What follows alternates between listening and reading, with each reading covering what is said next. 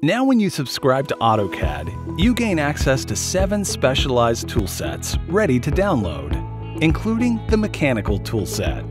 This toolset was purpose-built to drastically speed up your mechanical design and drafting, with over 700,000 intelligent parts and features. Let's take a look at how the Mechanical toolset in AutoCAD 2019 helps you work faster. For our first example, we're going to show you a common task, moving object layers. With the mechanical toolset installed, this can be done in just three steps.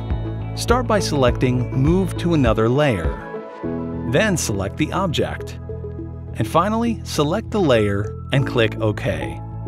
And simple as that, the layer has been moved. Now, let's take a look at annotating mechanical parts with the toolset.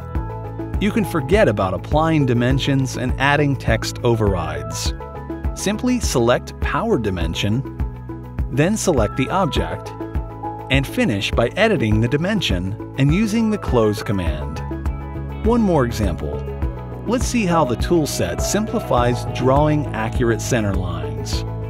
Once more, the mechanical toolset makes quick work of the task.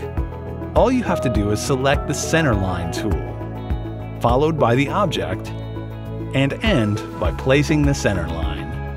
Using AutoCAD 2019 with specialized toolsets, you're able to simplify tasks that used to be repetitive and time-consuming, allowing you to focus on the most important parts of planning and get even more out of the AutoCAD software you already love.